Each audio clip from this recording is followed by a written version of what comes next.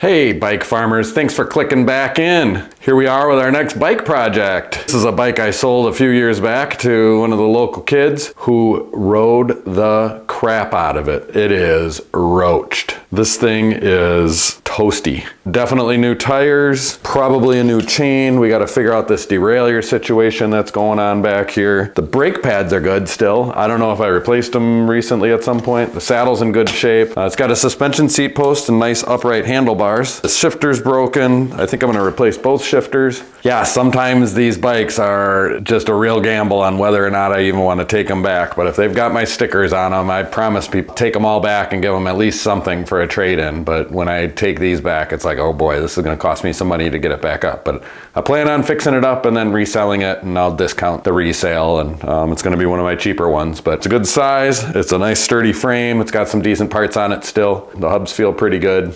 So I'll give you a closer look, a little zoom in on some of these things and then we'll get started.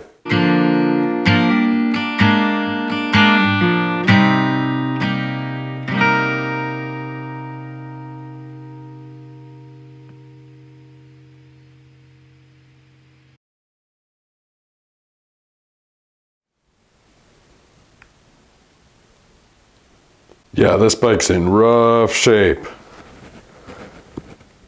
We had a catastrophic event of some sort back here. So who knows, that chain's probably going to get replaced, right? I wonder if we've got any bent chain rings. Um, the tire is completely bald. Brake pads look pretty good. Gonna have to grease that. I might change that seat post out too. I don't know. We got nice upright bars. However, that shifter is blown up. So probably just replace both shifters. Um, I think I'm gonna replace both tires too, just because that one's going, but the brake pads are still good. So it's got that going for it. But yeah, that bike is worn out. Let's see what we can do.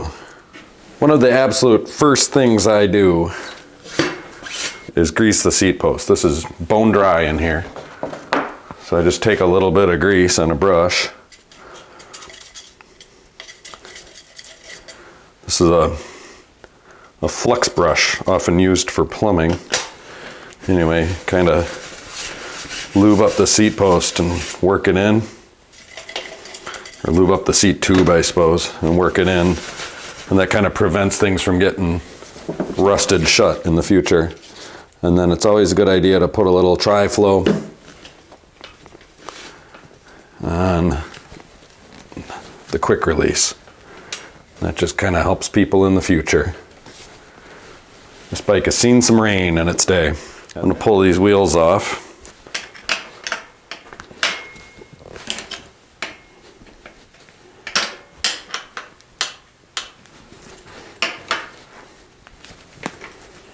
Oh. Oh, there's my Midwestern accent for you.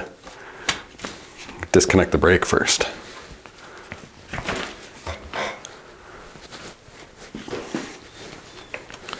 Disconnect the brake.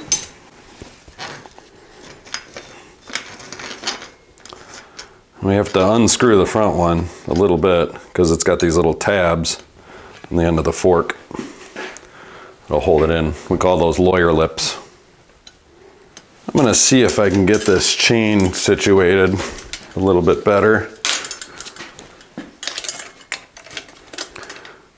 Oh man, I don't know if I'm gonna win this battle. That's wrapped around. Nope, we're just gonna take it apart.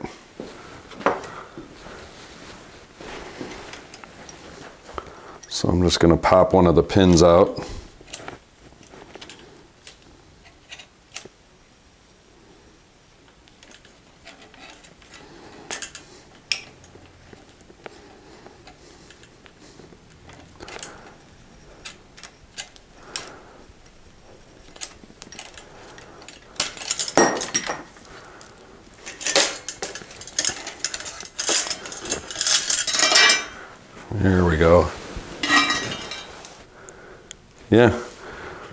I think we can reuse this chain. Set it aside for now. The bottom bracket feels pretty good. Those bearings feel smooth. All right, yeah, this bike's not so bad. Believe it or not, this hanger's gonna be bent. well, it is bent. The nine millimeter will loosen up the anchor bolt and get that cable out of there. And then a five millimeter to take this derailleur out. Yeah, the things are pretty bent.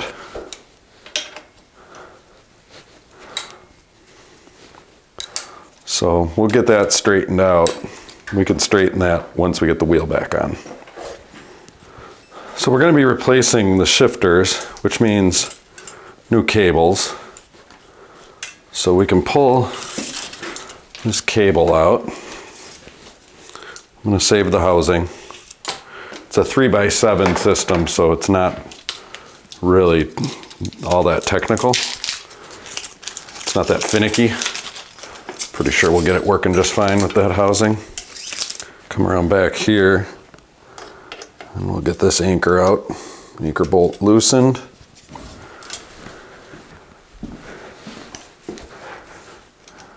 Cut the cable there and then pull it through. I'm gonna reuse these grips, so I don't wanna cut them off. We're gonna use the compressed air to get them off. So I usually grab the little screwdriver, little flathead, kind of work it underneath.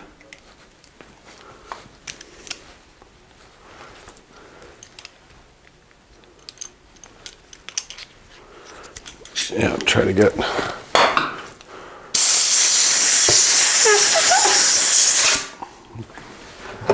get them off that way. Oh, there goes the shifter. I'm gonna see if I can get under there without my screwdriver with this one.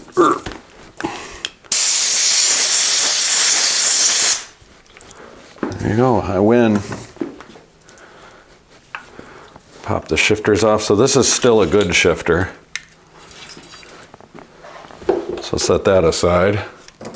And then this is bad shifter for parts, and I'm just going to throw this part away. But this thing has a little set screw in it that I might need someday. Generally take accessories off of used bikes that I'm going to resell. And I don't like this plastic bottle holder on this bike. Bottle holders are a nice little throw in at the point of sale. Be like, hey, I'll throw in a bottle cage for you.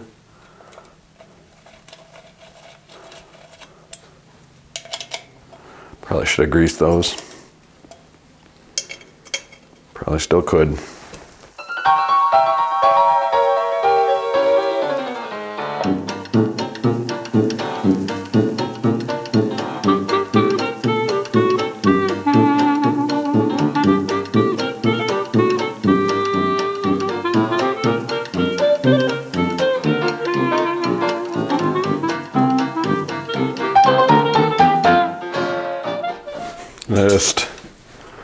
Found this piece of cracked housing.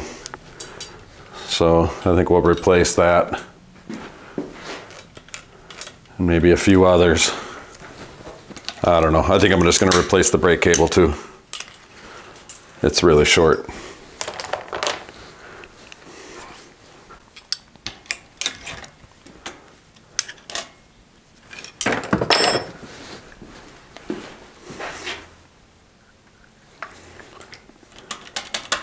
Drop a little lube on the anchor bolt. Here's the broken housing. Grab my brake housing here.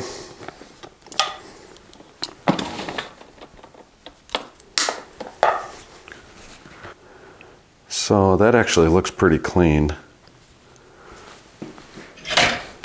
You can take a sharpened spoke. Both sides look pretty clean.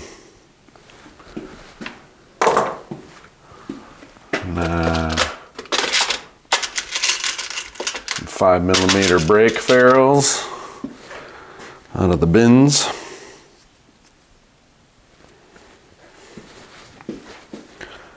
Then lube the cable. I like TriFlow on my cables. It has been working great for me, so that's what I'm gonna do. I like TriFlow for everything.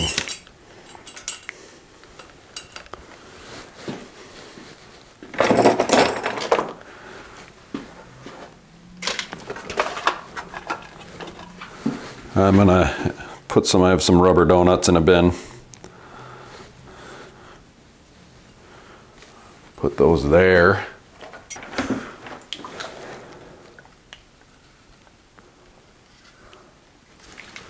Just a little bit of lube. And that is slicker than snot on a doorknob.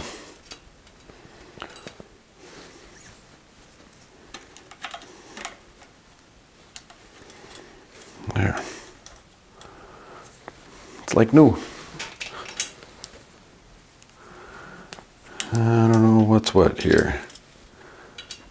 Oh, that kind of looks like it belongs there. Does this one belong here? Maybe. So these are some brand new microSHIFT replacement shifters. I like them. I think they have a good feel.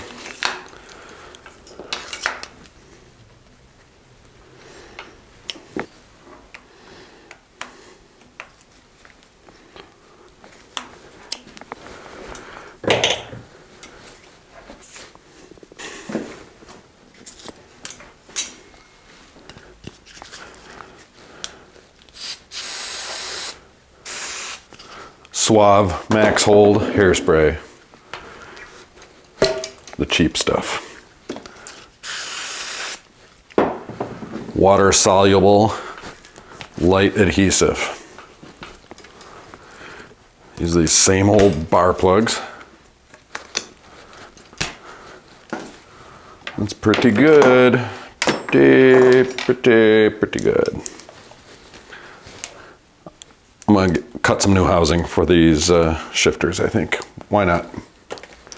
Okay, I got my housing cut. Gonna put some ferrules on the housing here.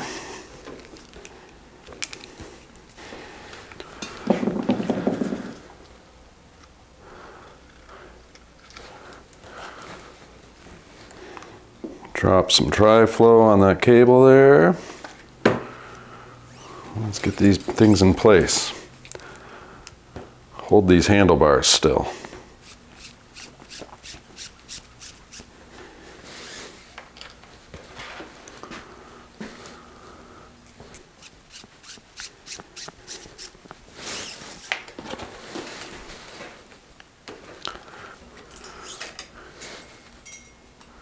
Okay, I'm gonna find some more Wubby Dubbies, the rubber donuts.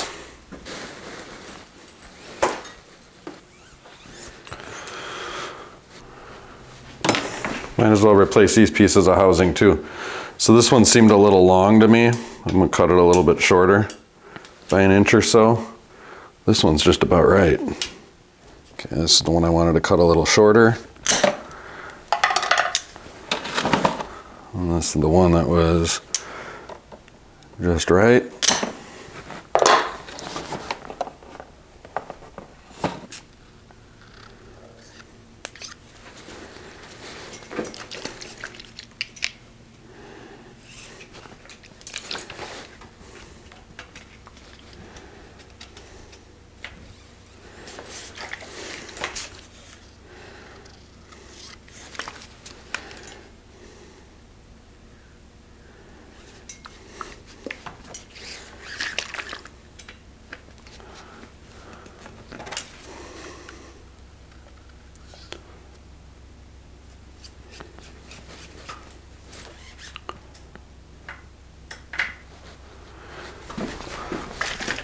Cables are done except for the front brake cable here.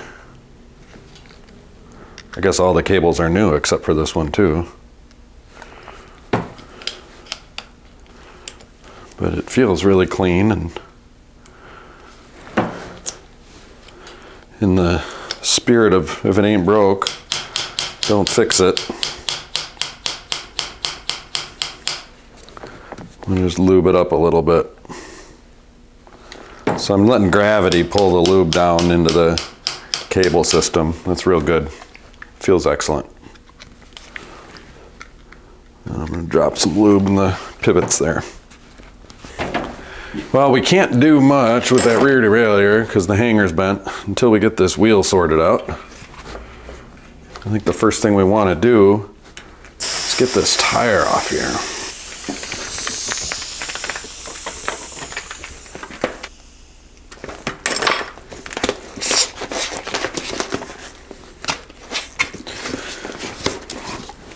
So it feels like everything's sticking. It's a lot easier to get the tire off if you kind of break things free. Do your thing. Yeah. The tube is sticking to the inside of the tire.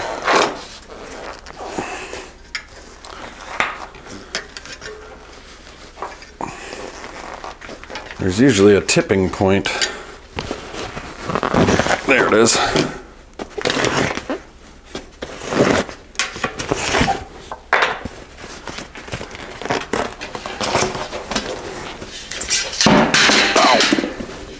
That hit my shin.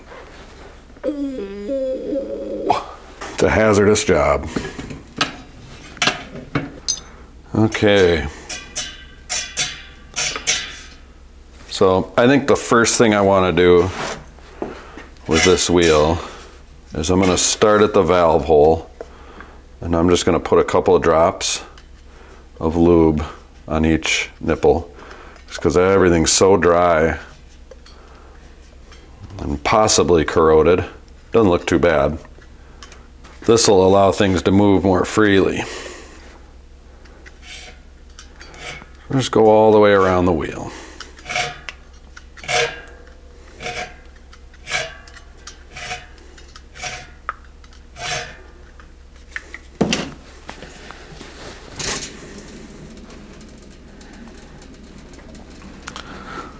So my thoughts are that centripetal force will draw the lube into the threads.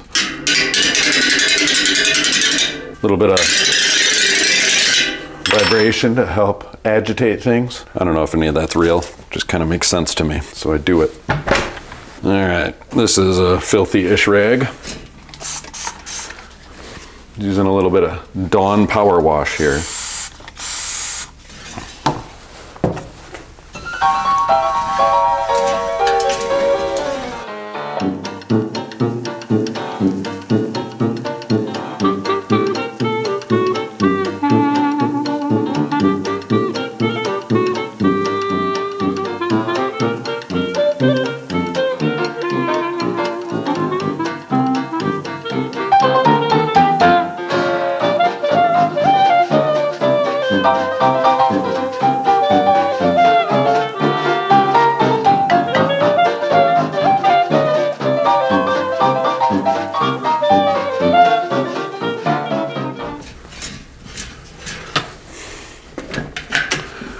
Missing the spoke protector here.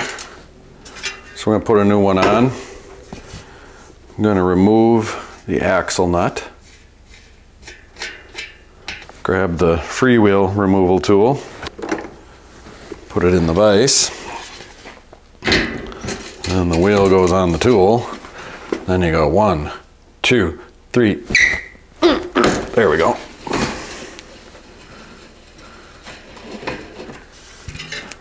Okay. Just kind of clean things off a little bit back there. You don't get that opportunity too often.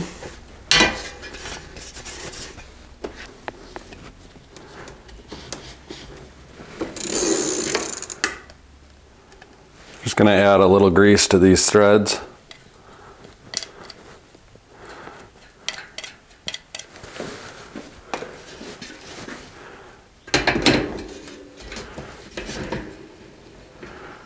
It backwards a little bit, just catches the threads a little easier that way. I don't think I've ever cross-threaded one. Okay.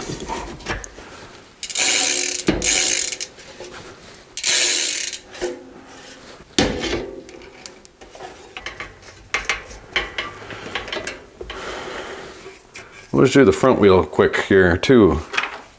This one doesn't want to let the air out. What's going on with that? Valve core removal tool here. Put that in there and see if we can rescue this thing. Still no air coming out. What's that all about? Something's gooey in there. I don't know. Probably just a new tube, huh? We're replacing the tire too. Just poke a hole in it.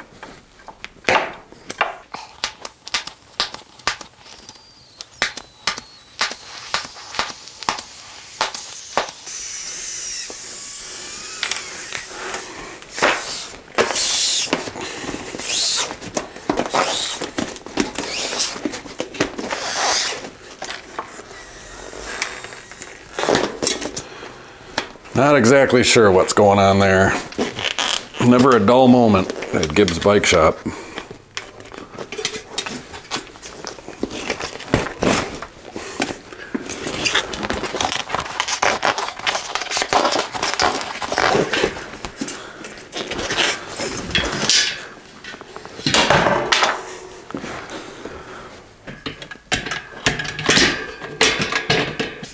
I'm going to do the same thing with the front spokes Just go through and lube each one.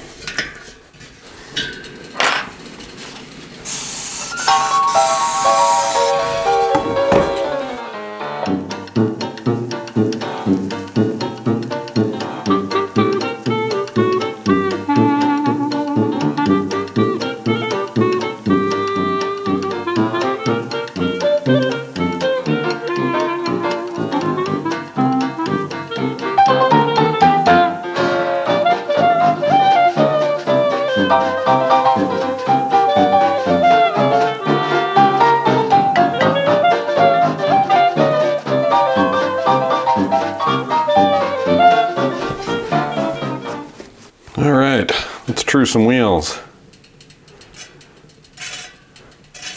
So I start on this side and I take,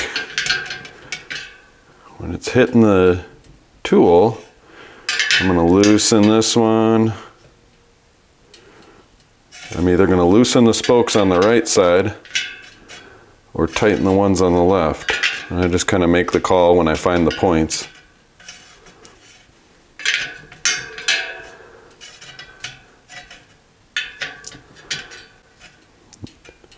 I do a lot of this by feel. It's really hard for me to explain it as I go.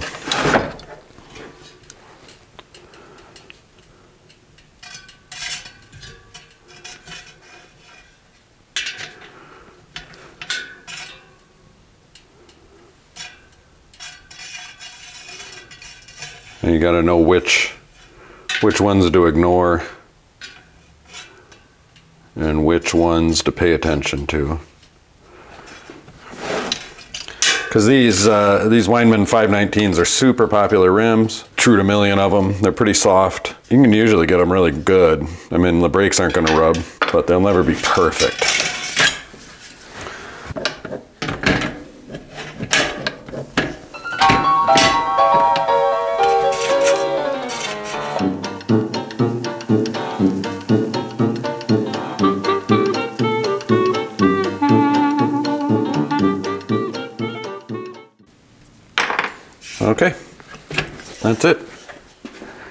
Couple new tires here, a couple new tubes. I always like to line my valve holes up with the logos. Whew.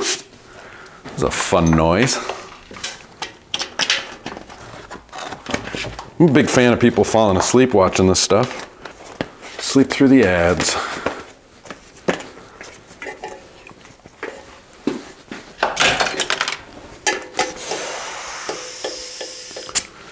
I do do this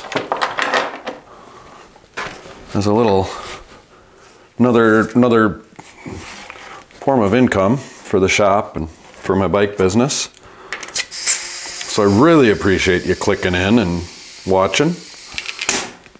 Oh, ah, it's gonna blow up. God damn it. It's blowing off the rim right there. Woo! That'll sell some ads. Man, that was scary. There. I didn't check the bead as I was inflating this because I was yapping. Almost blew myself up in the process. Putting a dab of lube on these axle nut threads here.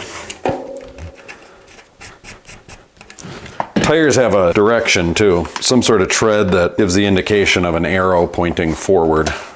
26 by 2.1 tires are nice and beefy and round. They have a relatively supple sidewall to them and they give these old 90s mountain bikes a really good ride feel. All right, now let's take our time. We'll give this some shape and then we'll massage the bead into the hook of the rim before scaring ourselves half to death.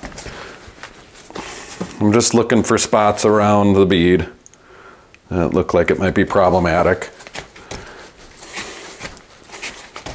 This one is not as problematic as that first one. Make them firm, that's what I say. I rode like 200 miles this last weekend and I didn't check my tire pressure once. I just felt them. I'm like, oh, they're firm. I'm gonna go for a bike ride. Doesn't matter a whole lot to me. It's fun to optimize bicycles, but it's not necessary. Okay, back on the bike. Pop the wheels back on.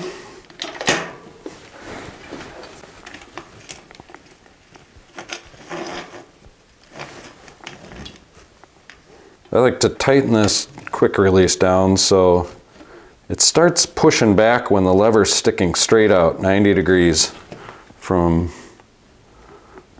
the plane of the wheel. And then I have my levers sticking straight back. And while I'm here, might as well reconnect the brake. It's actually very well adjusted.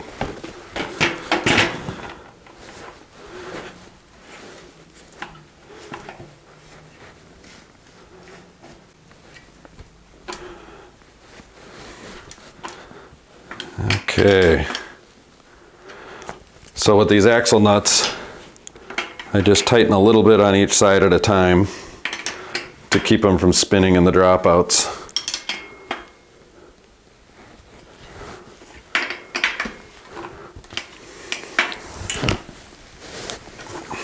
I really try to crank down on them.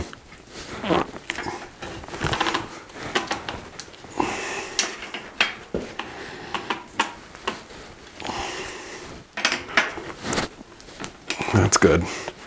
Now we can uh, straighten that hanger. Here you can see just how bent it is.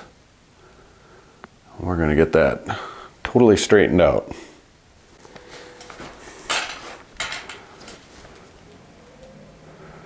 With the derailleur alignment gauge. That's this guy right here. And it threads in where the derailleur threads in. These threads are feeling a little grungy. Kind of feel like I'm chasing them right now. It, I can feel it when I remove the derailleur too. All right, I'm forcing things here. Hopefully I don't destroy this bike. That's the thing with these steel bikes, is this is the only hanger we've got. All right, it's all the way through. So if I was chasing threads, it's got new ones. Ooh, ow.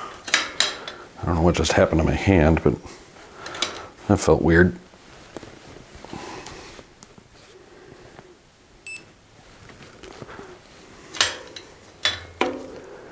All right, I'm forcing things here.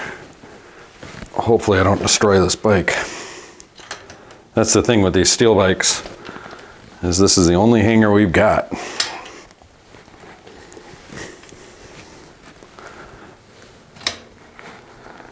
All right, it's all the way through. So if I was chasing threads, it's got new ones.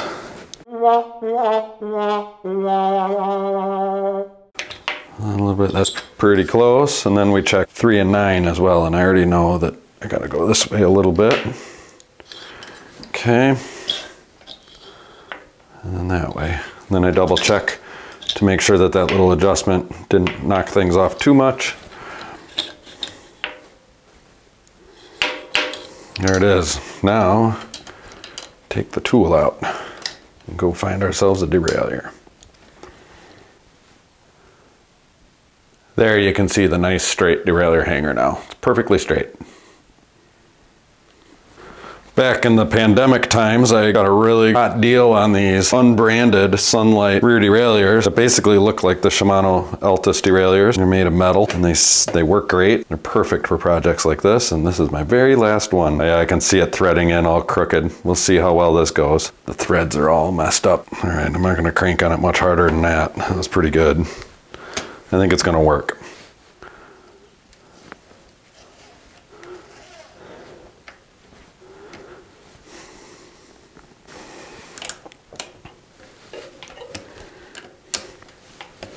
There you have it.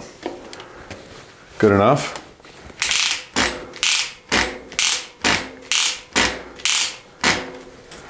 Tighten that cable down.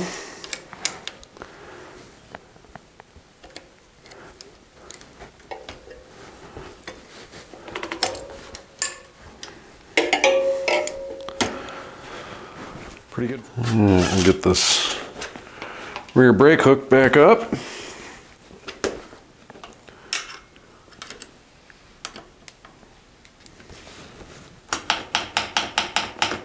Feels pretty good. Cable's gonna stretch a little bit. Over here in front derailleur land, grab it with the pliers and then take a five millimeter wrench and anchor her down.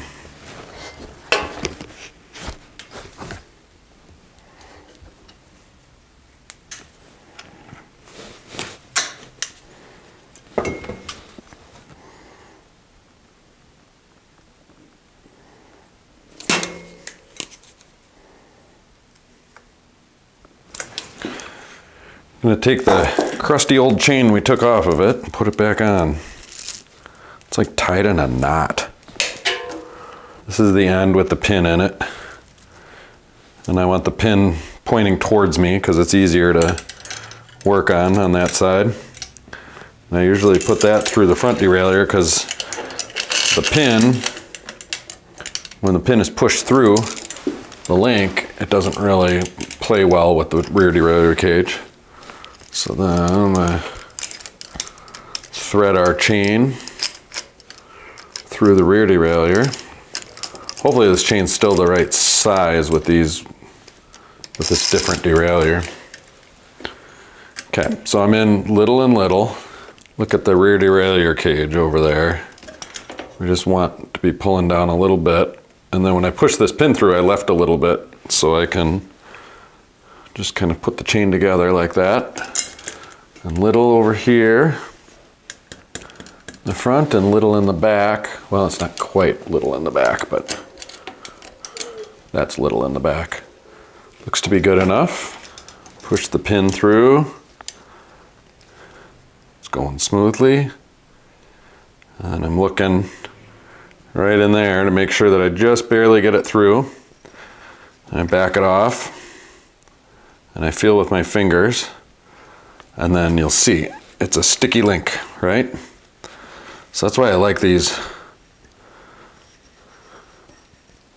chain tools. So now I can go to this middle spot and I just push the pin through just a little bit, like just a smidge. Get that moving a little bit and then sometimes if you move it back and forth, that loosens it up. It feels about the same on both sides.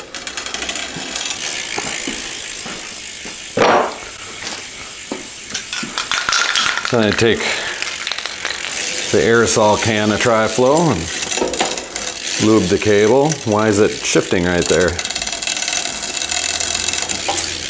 Oh, do I have a bad link? It wouldn't surprise me. Oh man, I do have a bad link.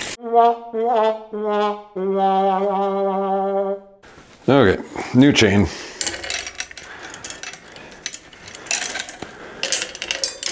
And then of course I don't have a mega range freewheel.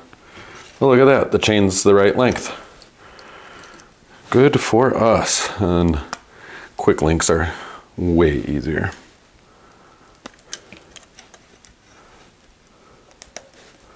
Yeah, you just put together and then sometimes you can pop them that way. Otherwise I go like this and then like that. And there's the, the quick link.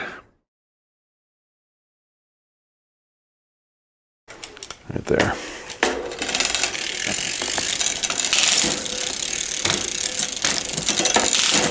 Man, the limits on that derailleur is pretty good.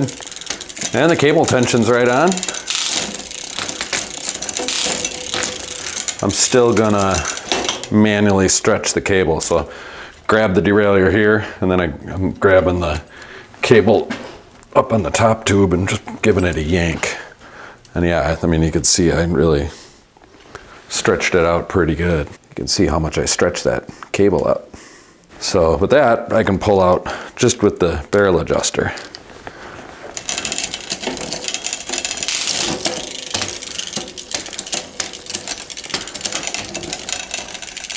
Little tight.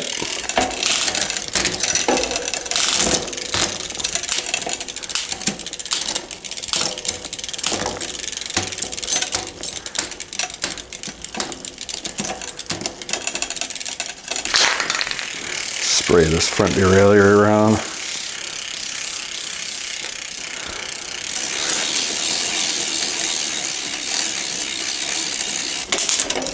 Oh, something in the shifter the derailleur or something shifted and we have a very, very loose cable.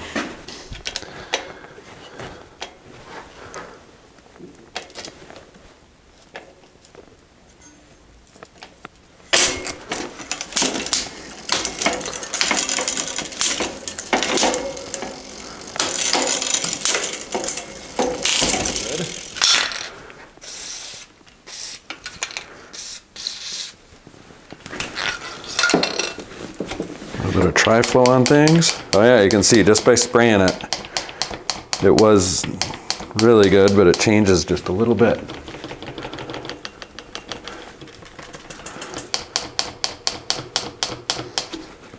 Still pretty good.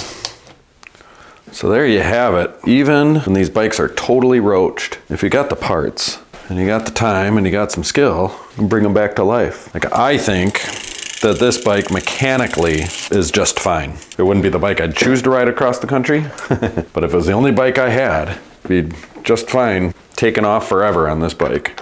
You know, the stuff is just gonna wear out just like any other bike. It's got a ton of gears, nice and upright.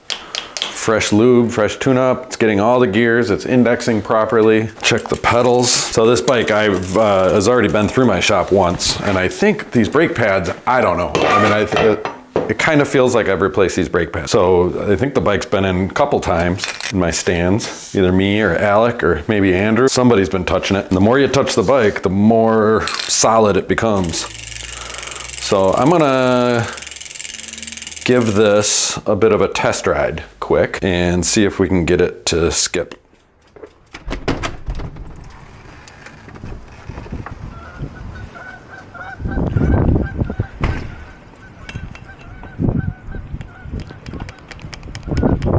Brakes aren't squeaking. Windy. All right, so I got it in the highest gear in back.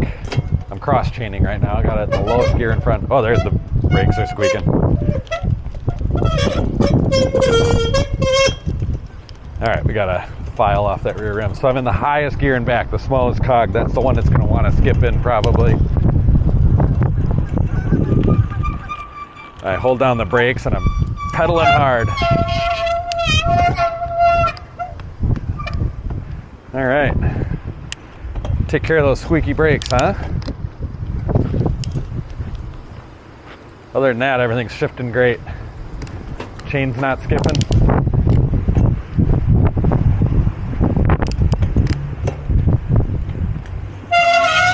Whew, those are loud. It's windy. All right, get the bike back in the stand here. So to fix the squeaky brakes, take a bit of emery cloth here.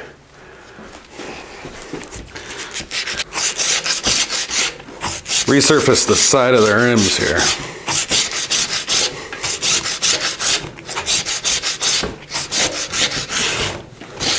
You can just get emery cloth from the plumbing section at your hardware store and it'll work.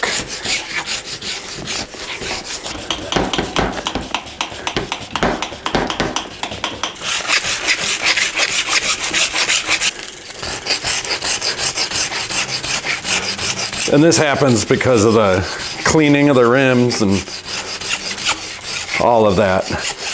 Like this brake bike probably didn't have squeaky brakes before I tuned it up. And this just kind of cleans the rims the rest of the way on the side.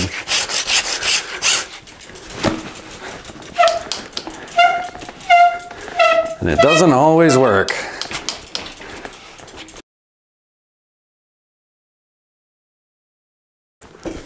Perfect college bike, you know? Nobody's gonna wanna steal it, and it works better than the ones that they do steal. Giving these rims one more wipe. I think I like it. I think I like it a lot. Look at that. Pretty shiny. Okay, there's the finished product.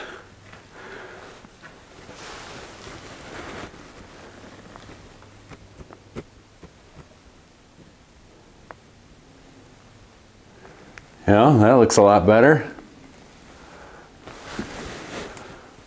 Brand new tires. Brakes are all cleaned up. It's all pretty shiny.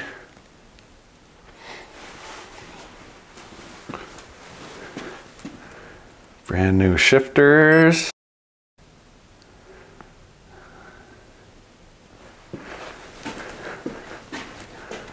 How about it?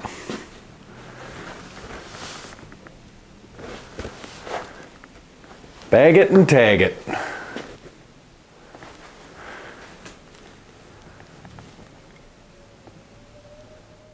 Well, that just goes to show you, bike farmers, you can take a bike that has been totally trashed and what do we do? Replace a chain and a derailleur and some tires, some grips. I guess those grip shifters, but I guess we did swap a whole bunch of parts out. But you know, this is a perfectly good bike that we were able to give a third life, I believe. I mean, I don't know how many lives it had before it got to me, but I fixed it up once, sold it to somebody, they used the crap out of it, gave it back to me, and now somebody else gets to enjoy it one more time. It's a perfect all-arounder college bike or commuter bike or something. I mean, mechanically, it's very sound. It's a sturdy bike. It's comfortable. It's got all the gears in the world. It's just super, super practical.